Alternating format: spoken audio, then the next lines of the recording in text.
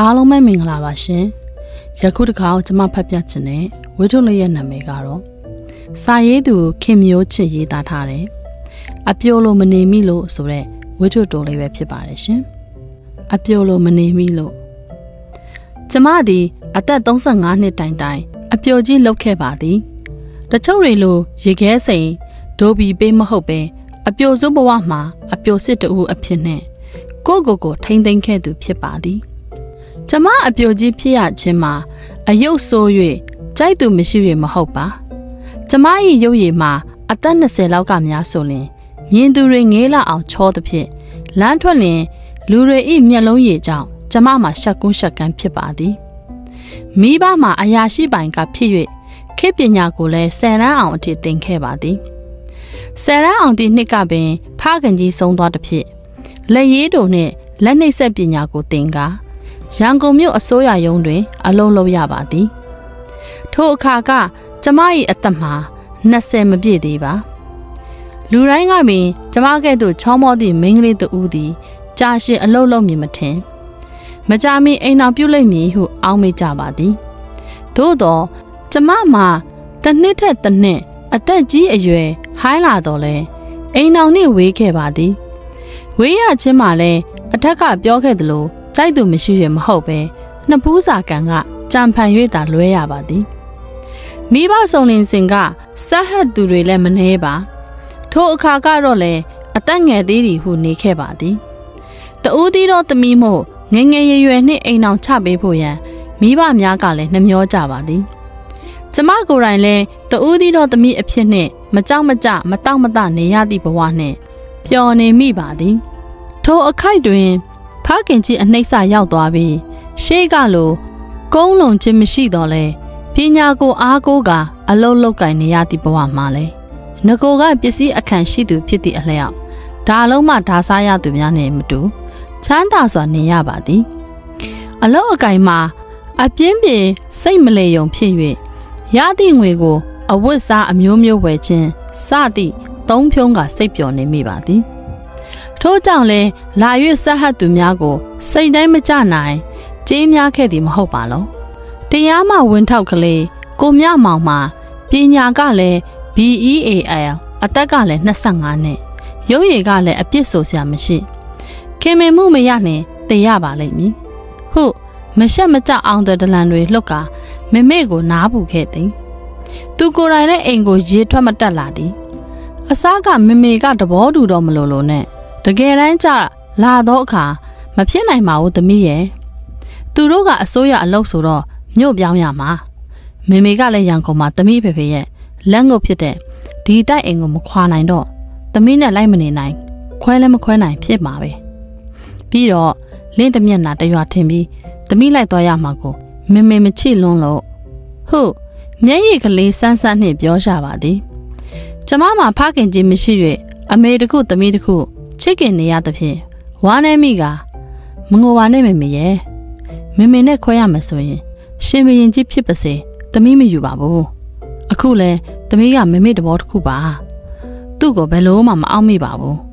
ချော့မော့ရပါသည်ရန်ကုန်မြို့ပေါ်မှာပင်နေထိုင်လျက်ရှိသောစက်တရေကိုဘဝင်းမှာပညာကတော့ IA လောက်ပဲတတ်ပါသည်ရုပ်ရည်လည်းအန်ချင်စရာပုံမစိုးလာပါ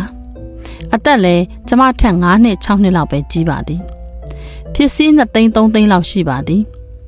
သူကလည်းကျမကိုလိုချင်၍မမေကိုအမျိုးမျိုးကပ်ပါသည်မမေမှာအစတွင်ငါသမီးမခင်မှုတထေးကြော်ဖြစ်ရမှာပဲဟုသဘောကျသလိုလိုရှိပြီးတကယ်တော့တိတိဆိုင်ဆိုင်ဖြစ်လာတော့ခါမောင်မဝင်းကတော်ပါရဲ့သမီးရဲ့သူနဲ့ဆိုရင်မမေနဲ့လည်းမခွဲရဘူးကောင်းသားပဲလို့တော့အောက်မေ့မိပါရဲ့ဒါပေမဲ့ အိမ်တော်ရေးဆိုတာအခက်သားနော်လွယ်တာမဟုတ်ဘူးအများကြီးစဉ်းစားရတယ်မောင်မဝင်းမှာညီကောင်မောင်နှမတွေတိတ်များတယ်ရှစ်ယောက်တောင်ပဲသူကအကြီးဆုံးပြီးတော့ယောက်ျားလေးဆိုလို့သူနဲ့ညီအငယ်ဆုံးကလေးခုမှဘာအသက်ကြီးသေးလို့လဲဆယ်နှစ်သာရှိသေးတယ်ဂျားထဲမှာနှမတွေအပြိုင်အိမ်အပြိုတွေကြီးပဲကောလိပ်မှာတချို့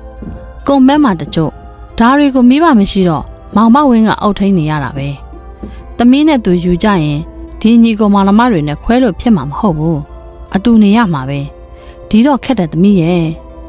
ရောင်းမအပြိုတွေ6ယောက်ဆိုတဲ့တာဝန်ကနဲတာမဟုတ်ဘူးပစ္စည်းဥစ္စာဘယ်လောက်ပဲပြည့်ပြည့်စုံစုံစိတ်ညစ်ရမယ့်လမ်းတွေမင်းမင်းမြင်လွန်းလို့အပြိုပေါင်းမတွေဆိုတာအကိုရဲ့မယားကိုအမြဲကုန်ပြိုင်မှာသူတို့ပစ္စည်းအင်အားမမေတို့တက်တာနေတော့သမီးသူတို့ကြားထဲမှာမျက်နှာငယ်မှာမေမေကတွေးပြီးတနာမိတယ်ပြီးတော့ မောင်မဝင်းကသမီးကိုချစ်ကျင်လာရင်သူတို့ကမနာလိုပဲခနုခနဲ့စကားတွေပြောမယ်ပြီးတော့သမီးကနောက်ရောက်လာတဲ့ဧည့်သည်လိုသူတို့လူစုထဲလဲသွားရပြန်ပစ္စည်းအင်အားကလည်းသူတို့လိုမရှိသူတို့ကစီးပြီးနှိမ်မှာပဲယောက်ျားဆိုတာကသဘောကောင်းပေမဲ့နေရတကအလိုက်သိမှာမဟုတ်ဘူးတော်တော်ကြာကိုယောက်ျားကိုလည်းနားမဖို့ချင်တော့ဒူးနဲ့မျက်ရည်တုပ်နေရမှာပြီးတော့ရှိသေးတယ် အခုမောင်မဝင်းကဒီလူမမေညီတွေနှမတွေကိုအဖအရာနဲ့အုပ်ထင်းနေရတဲ့တာဝန်ကိုလည်းသမီးလက်ခွဲဝေပြီးခံရမယ်။သမီးဟာတူးတီတော့သမီးပြီးပြီးဘာမှတာဝန်မရှိပဲချမ်းချမ်းသာသာနေလာခဲ့ရပြီးဒီတာဝန်တွေထမ်းရရင်ဘဲလောက်ကောင်းရှုံမလဲ။အခုမောင်မဝင်းမှာရှိတဲ့ပစ္စည်းဟာဒီမောင်နှမတွေအရှိုရှိုခွဲယူလိုက်ကြရင်ဘာမှရှိမှာမဟုတ်ဘူး။အခုမေမေပြောတဲ့ဒုက္ခတွေခံရတာပဲအဖတ်တင်ပါပဲ။ဟုပြောတော့အခါ ကျမမှာအိမ်အောင်ရေးဤခက်ခဲမှုများကို ထင်မြင်ရင်လေးကမမေစကားကိုနားထောင်လိုက်ပါသည်အတွင်းဝင်ကလေးကိုကြော်တင်မှာပညာကုံယာရူးကုံလည်းရှိညီကုံမောင်နှမလည်းကျမလိုတူဒီတော်သားဖြစ်သည်သူ့အလုတ်ကရန်ကုန်ကဘဲမှမသွားရတော့အလုတ်ဖြစ်၍ကျမတို့၏ပတ်ဝန်းကျင်မိတ်ဆွေများကနေရာကျနိုင်မည်ဟုကျင်းတွေပေါက်ထားခဲ့ပါသည်မောင်ကျော်တင်တယောက်ဖြင့်အတော်ပဲတဘောကြဆရာပဲသမီးရဲ့ညီကောင်မောင်နှမလည်းမရှိ အမေကြီးတယောက်ပဲရှိတယ်ခက်တာကအဲ့ဒီအမေကြီးပဲသူကလည်းသားတူးတဲ့ဆိုတော့အမြဲလိုက်နေမှာပဲရောက်ကမနဲ့နေရတဲ့မယားတဲ့ဟာဘယ်တော့မှစိတ်မချမ်းသာဘူးအခုကြည့်ရတာသားလို့သူကရသမျှပတ်စံအမေလက်ထဲထဲအမေဩစာကြီးပဲဒီတော့သမီးရဲ့ဩစာမကိုက်လင်းသာဆိုရတယ်ရောက်ခမကရှေ့ကကာစီကာစီနဲ့ပိုင်ဆိုးပိုင်နဲ့မရှိ စိတ်ဒုက္ခများရလိမ့်မယ်ပြီးတော့ အခုသမီးဖေဖေစောက်သွားတဲ့အင်ကြီးပါမမေတို့သားအမိနေလာတာမောင်ကျော်တင်တို့သားမိကလည်းမမေတို့လိုပဲအိမ်ပိုင်ရပိုင်နဲ့တတိတနန်းနေတာဆိုတော့မောင်ကျော်တင်ကလည်းသမီးစီလိုက်နေမှာမဟုတ်တဲ့အကြောင်းကိုတီးကောက်ကြည့်လို့သိရပြီသူ့အမေကို့အမေလွန်ဆွဲတဲ့ကြားထဲမှာငါသမီးမှာဘယ်သူမှမခွဲနိုင်လို့စိတ်ညစ်ရမှာပဲပြီးတော့မောင်ကျော်တင်အမေကြီးဟာသားကိုအင်မတန်နိုင်တယ်ချွေးမရရင်လဲသူ့လက်အောက်မှာဖိထားမှာပဲ အခုဒီကိစ္စကို စကားဆပြောဆိုရင်တောင်တားရှင်ပြီးပြီးစီးပိုးတဲ့စကားတွေတိတ်ပြောတော့မေမေလည်းမခံချင်ဘူးရှေ့ကိုဆိုရင်ဓာတ်ထက်ဆိုးမှာပဲအမေကြီးကသူ့သားနဲ့တန်တဲ့မိန်းမလောကမှာမရှိသလောက်ထင်နေတာဒီလိုဟာမျိုးနဲ့ဘဲနဲ့လုပ်ပြီးသမီးစိတ်ချမ်းသာနိုင်မှာလဲစသည်ဖြင့်လူကြီးပြီးပြီးရှေ့ရေးမြော်တွေလမ်းခင်းပြလိုက်သည်ကို ကျမမှနားလေသွားသည်ဖြင့်ဟုတ်ပါရဲ့ဒီလိုရောက်ခမဆို လက်ထဲမှာဒူးနဲ့မျက်ရည်တုံနေရမယ်ဘဝမျိုးတော့နေရမကြပါဘူးဟုစိတ်ပြတ်စွာနှင့်ပယ်လိုက်ရပါသည်ထို့နောက်ဆက်ဟန်လာကြသောပညာရှင်ယာဒူးရှင်ပစ္စည်းရှင်များမှာရှေ့သွားလေပြီးသောနောင်တော်နောင်တော်များ၏နေတိုင်းအပြစ်ဆိုစရာတွေဖြင့်ကျမမှာညင်းပယ်ရင်20ကျော်အစိတ်အပိုင်းသို့အရွယ်တော်တစ်စိတ်ဟိုင်းလာရသည်အစိတ်က30 30က50အထိအေးအေးစစ်စစ်အပြိုကြီးဘဝနှင့် မပူပင်မကြောက်ကြရဘဲနေခဲ့ရ၍အရွယ်မှအိုသည်မရှိကြာလေနှုလေပြုတ်ပြုတ်ပြင်းပြင်းနဲ့အလှကြက်တည်းတိုးလာခဲ့ပါသည်ဆက်ဟတ်သူများမှလည်းဘဲခါမစဲတသေးသေးလာကြတော့လဲနောင်တော့နောင်တော်များဤထုံးစံအတိုင်းအပြစ်အနာစာများတွေ့ရသည်ဖြင့်ပယ်ခဲ့ရပါသည်ကျမမှာငကိုရုပ်ရည်ကလည်းရှိမကြောက်မကြချမ်းသာစွာနေရသည်ဖြင့်အသက်အရွယ်ဟိုင်းသွားတော့လဲကြာလေနှုလေ အလှကြက်တည်းမလျော့ပဲရှိခဲ့ရာကျမရဲ့အသက်မှန်ကိုမှန်းဆနိုင်သူရှားပါသည်ကျမကိုယ်တိုင်ကလည်းကျမရဲ့အသက်ကိုမေးလာရင်ကျမအသက်မငယ်တော့ပါဘူး20ကျော်ပါပြီဟုတ်မတေမကြပြောခဲ့ပါသည်ဤသို့ပြောရင်းပင်ကျမ၏အသက်မှာ20၏တစ်ဖက်တွင်15နှစ်ကျော်လွန်လာခဲ့ပါသည်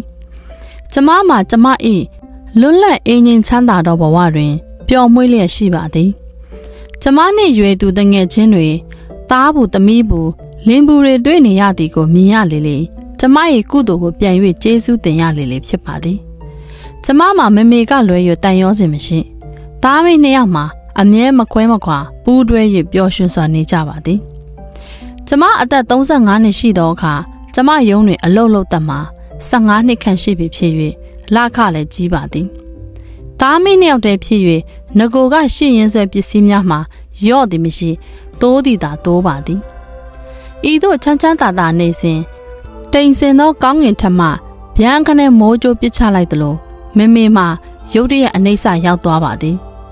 ကျမမှတသက်နဲ့တကူမကြုံစဘူးပူဆွေးရပါသည်ဖေဖေဆုံးစဉ်ကမှမမေရှိနေတဲ့ဖြစ်တော်ပါသည်ယခုအခါမှာကျမတွင်အားကိုးရမဲ့သောတောင်မြင်လွတ်တိခွဲလိုကြံခဲ့ပါသည် ကျမမှာမျက်စိတငယ်နှင့်စောင့်တည်ရမရဘယ်သွားရတော့မလို့ဘယ်လာရတော့မလို့အယူလိုဖြစ်နေပါတော့သည်ထိုအခါကျမငယ်စဉ်ကထိန်းလာခဲ့သည့်လူယုံတော်အတော်ကြီးဒေါ်စာကခက်တယ်ခက်တယ်မမလေးပါယောက်ျားအားကိုအားထားမရှိတော့ပစ္စည်းဥစ္စာတွေနဲ့ရံများတော့မယ်ရှေ့ရေးခက်တယ်ဟုတ်မျက်ရည်ဆန်းဆန်းနဲ့ညင်းညူရှာပါသည်ကျမကအိုးဒေါ်စာကလည်း ကျမတို့မှာပစ္စည်းအခြေအနေလည်းရှိပညာလည်းရှိ အလုံးနဲ့အကိုင်းနဲ့ယောက်ျားမရှိလို့ဘာမှဖြစ်ပါဘူးဟုသာပြောရတော့လဲမေမေကွယ်လွန်သွားသည့်အခါအားကိုးရမယ်အားငယ်မိသည်မှာအမှန်ပင်ဖြစ်ပါသည်ကျမမှာဒေါ်စာကိုအဖော်ပြု၍နေခဲ့ရာမေမေရှိစင်ကကဲ့သို့နှင့်မတူမျက်နှာငယ်သည်ဟုထင်မိပါသည်မိတ်ဆွေတငယ်ချင်းများကမခင်မို့တယောက်တနာစရာပဲသူခမအဖေလည်းမရှိ အမေလည်းမရှိအိမ်တော်ရသားလည်းမရှိဒုက္ခပါပဲဟုတ်ကျမနောက်ွယ်တာမက ရှေ့မှာပင်ပြောဆိုကြပါသည်တချို့မှာစိတ်ထဲကတကယ်တနာ၍ပြောကြတော့လဲအချို့မှာချီးမွမ်းကြောက်ဆိုသလိုပြောကြသဖြင့်ကျမမှာမခံကြည့်မခံတာဖြစ်မိပါသည်အချို့ကလည်းဟိုတုန်းကဆက်ကြဟတ်ကြတာတွေကိုအမူလုံးနေလိုက်တော့ခုတော့တဲကောင်းအပြိုဟိုင်းကြီးဖြစ်ပြီးလူမလေးခွေးမကန့်နေရတာပေါ့ တော်တော်ကြာဘယ်ကကိတ်တိယတိုက်သမားတွေနဲ့တွေ့မယ်မသိဘူးစသည်ဖြင့်အမနာပစကားများကို မကြားတကြားပြောကြသဖြင့်ကျမမှစိတ်ညစ်မိပါသည်ကျမမှပြည်စည်းဥစ္စာပညာပြည့်စုံ၍ယောက်ျားယူဖို့ကိစ္စမှာအပိုတက်တက်ဖြစ်တယ်ဟုထင်မှတ်ခဲ့တော်လဲဤသို့လူအများပြောကြဆိုကြတန်ကြရတော့ခါယောက်ျားရှိမှပဲဖြစ်တော်မလို့ဖြစ်နေပါသည်ကျမနဲ့ရွယ်သူတငယ်ချင်းမိတ်ဆွေတွေကလည်း သူတို့လင်တွေသားတွေနဲ့လာရောက်လေပတ်ရင်မက်ခင်မူရဲ့ဒါတော့ဘာကြောင့်အချိန်ဖြုံးနေရတာလဲကျမတို့ကိုကြည့်ပါအောင်သားရှင်ပြူရတော့မယ်စသည်ဖြင့်နောက်ကျပြောင်ကြတာကိုလည်းမခံကျင်တော့လဲမချိသွားဖျဲနေရပါသည်မေမေမရှိတော့အခါတငယ်ချင်းမိတ်ဆွေများကိုသာအားကိုးနေရသဖြင့်သူတို့တွေကလည်းအိမ်အောင်ပြုဖို့သာတိုက်တွန်းကြပါသည်ကျမမှာမေမေအရင်ကပြောခဲ့ဆုံးမခဲ့တာတွေကိုတတိယ တမျောတကောကြီးတွင်ငင်းမဲ့ခဲ့တော့လဲမေမေကလည်းမရှိ အားကိုးရမယ့်အခြေအနေတွင် စိတ်တပြေးပြေးကြခဲ့အိမ်အောင်ရေးကိုရှေ့ကလောက်ရှောင်ဖဲလို့စိတ်မရှိတော့ပါထို့ကြောင့်မေမေဆုံးပြတဲ့နှစ်ကကြာလင်မိတ်ဆွေတငယ်ချင်းများဘေးဒီတိုက်တွန်းချက်အရဝင်းလုံတော်ရဦးတင်အောင်နှင့်ဖူးစာဆုံးခဲ့ရပါသည်ဦးတင်အောင်မှာမုံဆိုးဖို့ဖြစ်၍သားသမီးအတွေ့အတာမရှိ အသက်40ကျော်ရှိပါပြီ စိတ်တဘောကောင်းရဲ့ကျမတို့မိဘများနဲ့တိကျွမ်းတော်မိတ်ဆွေဟောင်းတူဖြစ်ပါသည်ကျမ၏အကြောင်းကိုကားမကောင်းသိခဲ့သူဖြစ်သည်ဖြင့်ကျမအပေါ်တွင်ကျင်နာညှတာပါသည်အတော့အစားကင်းသောလူကြီးလူကောင်းတစ်ယောက်ဖြစ်၍အများကကြည်ညိုခံရပါသည်ဦးတီအောင်လိုလူနှင့်စိတ်ချမ်းသာဖို့တော့ကောင်းတော်လဲကျမရဲ့စိတ်ချမ်းသာမှုမှာတင်းပြစ်ကြက်ပြစ်မရှိပါအဘဲကြောင့်နီးမေးတော့အဖေမှာတိုးတိုနှင့်မပြေရှည်လျားလှပါသည် အိမ်အောင်ရင်းနှင့်ပတ်သက်၍ကျမစိတ်တွင်တဘောမကျသည့်အချက်တစ်ခုမှာဦးတင်အောင်သည်ဆေးပြင်းလိုက်တော့ပါသည်အိမ်မနေရတကာဆေးလိပ်ပြတွင်ခြားသားတတ်တီကိုကျမအလွန်မဲယွံပါသည်ဆေးလိပ်ပြတာမကဆေးလိပ်အတူကလေးတွေကိုအိယာနှစ်ပေကျွတ်လျှောက်ပေါ်မှာစီတင်ထားတတ်ပါသည်တခါအိမ်ကအစီခံမလေးတစ်ပြက်စီးလဲပြစ်မိ၍ခါတိုင်းအင်မတန်ညင်ညင်သာသာပြောတတ်သူဖြစ်လျက်နဲ့ရိုက်ပုတ်မတန်မောင်မဲသဖြင့် ကျမကြားဝင်တောင်းပန်ရပါသည်အိယာခင်ကားအုပ်စုများမှာဆဲလိစော်နန်းသဖြင့်ကျမတခါတခါမအိတ်နိုင်ပါသူဤစွတ်ကျဲလုံကြီးအဝတ်စားများကိုချွတ်ပြီးလက်အနားမှာရှိသောဘီရိုချင်းတဲ့သို့မထက်ကျမ်းပေါ်မှာပုံထားတတ်ပါသည်တခါတခါအိယာပေါ်ပုံထားတတ်ရာချွေးစော်ဆလိတ်စော်အနက်များမှာကိုးဆက်ပြီးအားလုံးကိုနှံစော်စေပါသည်ထို့အပြင် သူဤဒိုဘီပေးပြီးသားရှော့ပြီးသားအဝတ်များကို အစကကျမအဝတ်စားများနှင့်အတူဗီဒီယိုတစ်ခုထဲမှာရောထားပါသည်ကျမမှာကျမဤချွေးခံအင်ဂျင်များနှင့်သူ့စွတ်ကျဲရှက်အင်ဂျင်များရောနှောနေသည်ကိုမြင်ရတာတမျိုးကြီးပဲရှက်တလို့လို့ဘာလို့လို့ဖြစ်သည်ယောက်ျားတစ်ယောက်၏ပစ္စည်းများကျမ၏ပတ်ဝန်းကျင်တွင်ဤသို့နီးကပ်ရင်းနှီးရောနှောနေသည်ကိုကျမစိတ်ကလက်မခံနိုင်သဖြင့်သူ့အဝတ်တွေကိုတခြားမှရွှေ့ထားလိုက်ပါသည် တခါတခါသူ့ပစ္စည်းတစ်ခုရှာမတွေ့ရင်ကျမ၏ဗီဒီယိုကိုဖွင့်ချွေးခံအင်ကြီးတွေဘာတွေကြားတဲ့မှွေတက်တီကိုကျမနည်းနည်းမှမကြိုက်ပါထို့အပြင်ကျမသုံးတိတိုးပတ်ဘဝလက်ကင်ဘဝမျက်နှာတုပ်ဘဝများကို သူကအလွယ်တကူယူသုံးတတ်သေးသည်ကျမမမြင်စင်ယူသုံးစေကမူသူ့ဆေးလေးနှံ့ကြီးကကြံနေခဲ့၍တိတာပါသည်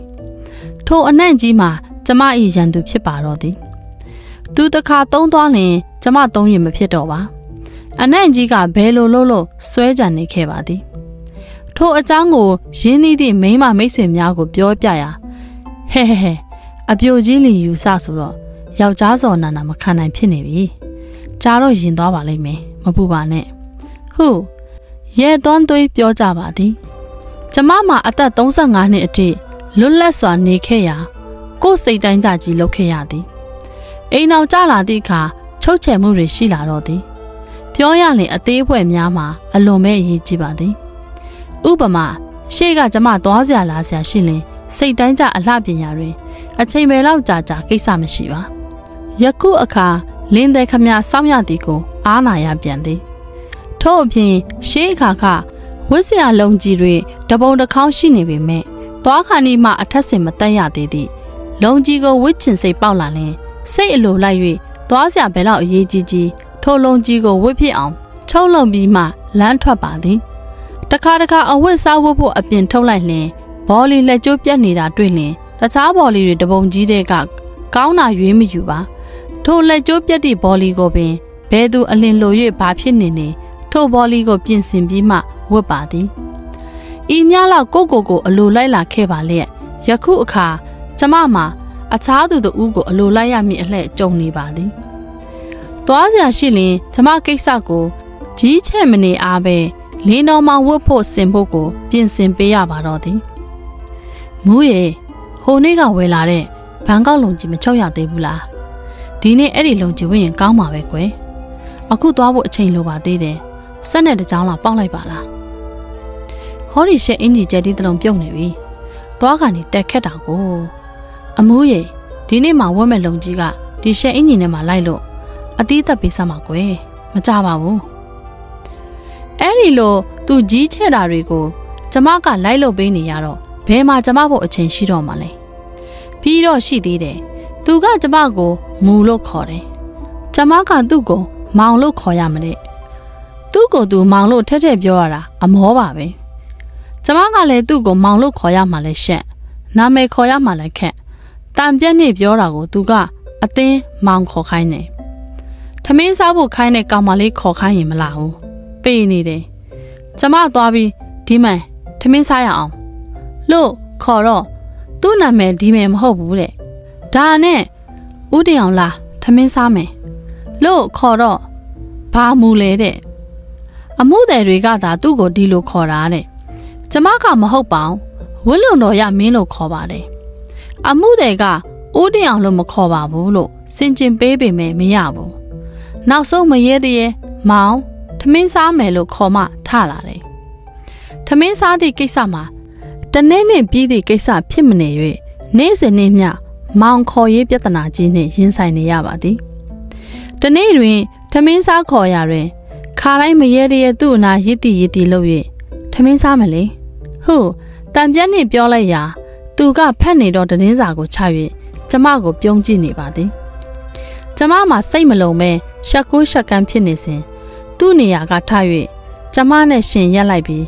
ကျမပကုံးကိုဖတ်ထားပါသည်ကျမမှာအပြိုကြီးစိတ်မကုံတကုံဖြစ်၍ပိုရှက်ကိုရှက်ကန်းဖြစ်နေပါသည်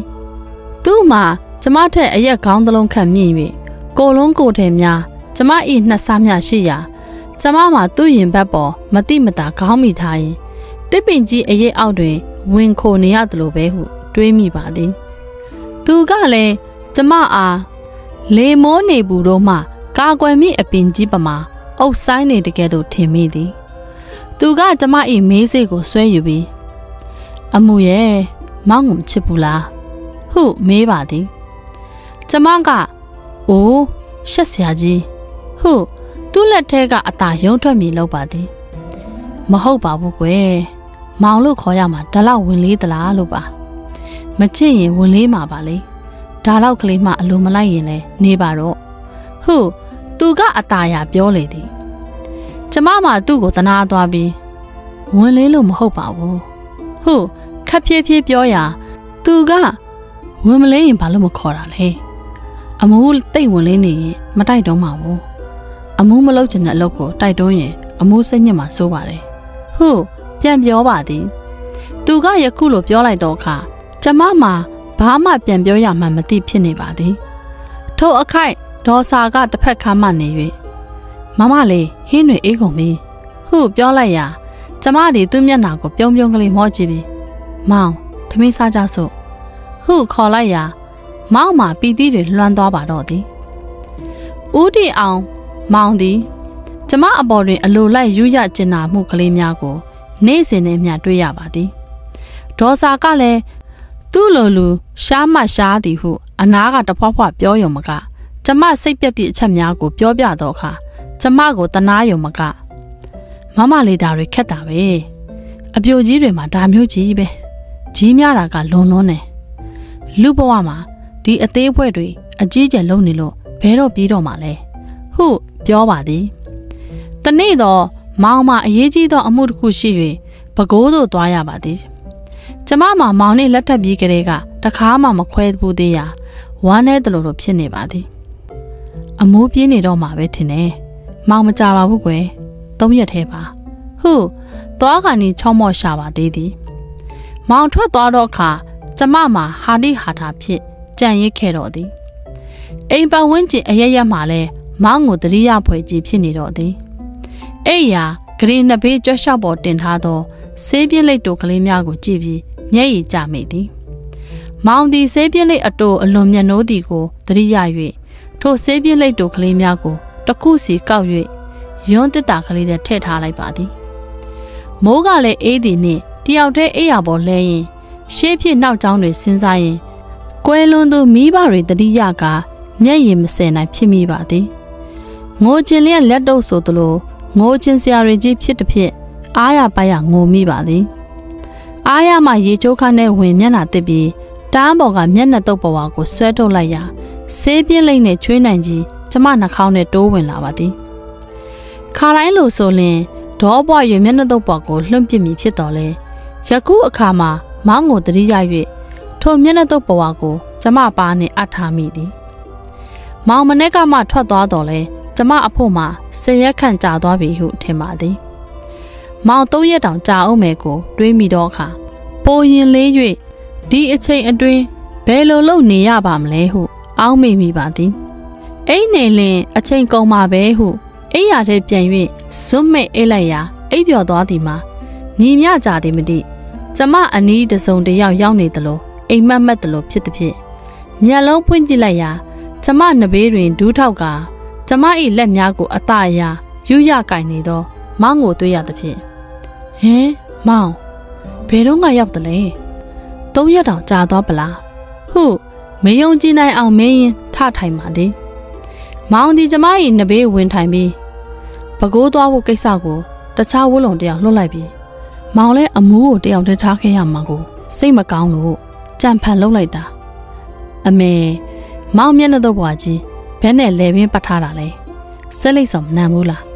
ဟုမေးလိုက်တော့အခါကျမမှမျက်နှာကိုသူ့ရင်ခွင်ထဲဝှက်ခါ